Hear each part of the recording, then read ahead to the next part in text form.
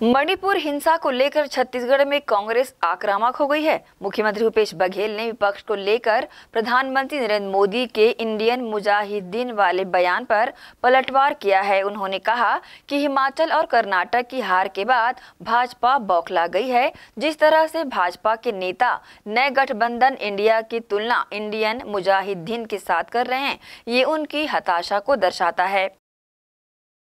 इसका मतलब ये है कि जो हिमाचल प्रदेश और उसके बाद कर्नाटक में जो चुनाव में हार हुई है भारतीय जनता पार्टी बखला गई है।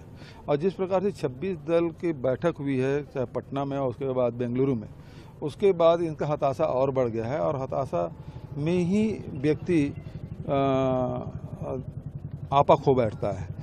जो दिखाई दे रहा है उससे स्पष्ट हो जाता है इंडिया का जिस प्रकार से नाम आ, कर कर रहे हैं वो तुलना कर रहे हैं मुजाहिदीन से और इससे। तो ये उनके हताशा का परिचायक है।